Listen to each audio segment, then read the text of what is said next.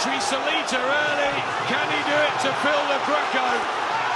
He's all over the place. Blistering hand speed, Adam. And it's all over in 40 seconds. Amir Khan returns to world boxing. And Phil Lo Greco is absolutely blown away. And listen to this reception. Do they feel shortchanged? Not one little bit. Not one bit. Absolute blistering hand speed.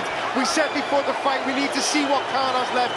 If he has anything left at all, then he's going to be devastating. He is devastating. The hand speed is something else, and the hand speed it looked exactly the same as the 17-year-old kid that we've seen based on the scene.